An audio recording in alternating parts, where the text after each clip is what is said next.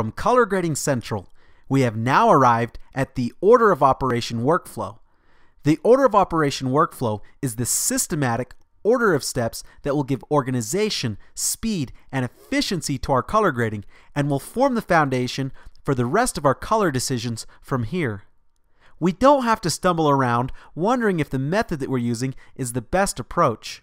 Rest assured, I'm going to share with you the same workflow used by top colorists from around the world. The order of operation workflow is divided up into three major stages the correction stage, looks building stage, and secondary isolation stage. The node-based grading in DaVinci Resolve is particularly well suited to this workflow where we can perform each correction stage in a different node. Let's look at how this workflow can be applied to a project. Here in the color page, I have a project that needs color grading, so I'll first begin with the correction stage. In the first node you see here is where I'll perform the basic color correction. Using the primary tools, I'll make some adjustments until I get some nice exposure and color balance. Okay, that looks good. To help us keep track of our workflow, we can give each node a label. To do this, we just simply right-click on the node, choose Change Label, and give it a name. I'll just call this correction our base correction. I will then repeat the same procedure on the remaining clips, going for nice exposure and color balance. Okay, in the interest of time, I've gone ahead and done this already. Now here's a key tip. Before moving on to the looks building stage, we'll first want to perform shot-to-shot -shot matching. This will ensure that shots are more likely to match after the look is applied. Jumping into looks creation now will make shot matching more difficult later as we'll be dealing with more nodes and there's a greater tendency to get lost. We can think of our correction stage as our base layer and the looks building stage as our adjustment layer or filter effect. Okay, I've gone ahead and performed shot-to-shot -shot matching, so we are now ready to create our look. I'll pick my hero shot or a clip that's a good representation of all the other clips. Now there's two different ways we can create a look and have it applied to all of our clips. We can either create a look, save it to our stills, and copy the grade to our remaining clips, or we can just combine the clips into the same group, keeping their individual base grade, and apply the look only once.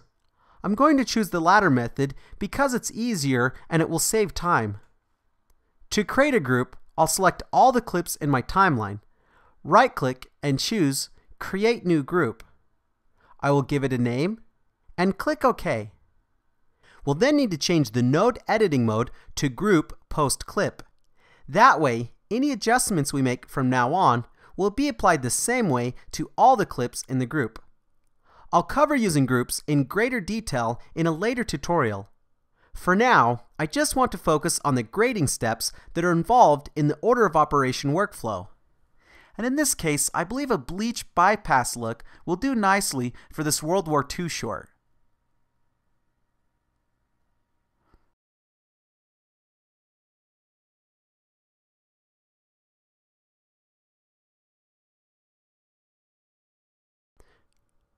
Alright, to extend the look even further, I'd like to make the talent's blood stand out even more.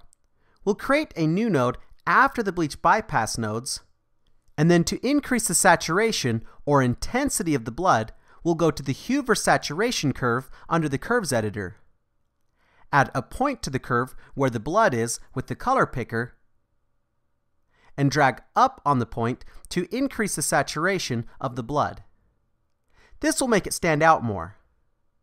Okay, now that I have the look that I want, we can verify the results going through the other clips.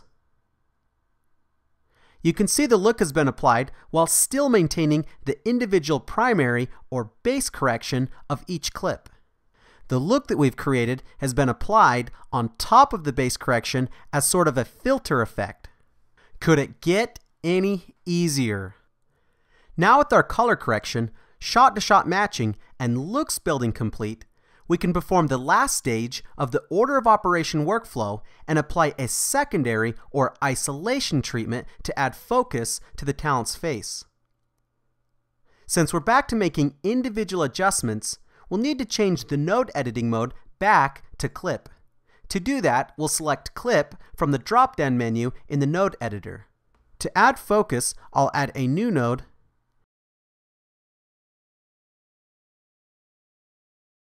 and then add a shape to the talent's face. I'll adjust the size and then bring up the exposure. I'll simultaneously add an outside node and lower the exposure surrounding the talent. I will then apply the same focus treatment to the talent's face in the other shots. Because we are back in clip mode, we can make these individual adjustments. And that's it. Now, I know we've covered some advanced techniques that we'll cover in later tutorials, but I just wanted to focus on the steps that are involved to give order and organization to our color grading. To summarize, we first perform primary color correction on all of the clips in our project to create a base grade. Next, we perform shot-to-shot -shot matching so that our clips will then match when we later group them together to create the overall look. And lastly, we can perform secondary color correction to add focus, clean things up, or extend the look even further. I hope that you've enjoyed this tutorial, and I hope that it gives you confidence in making your color decisions. If you have any questions, please leave them in the comments, or feel free to send me an email. I am here for you. Shut up.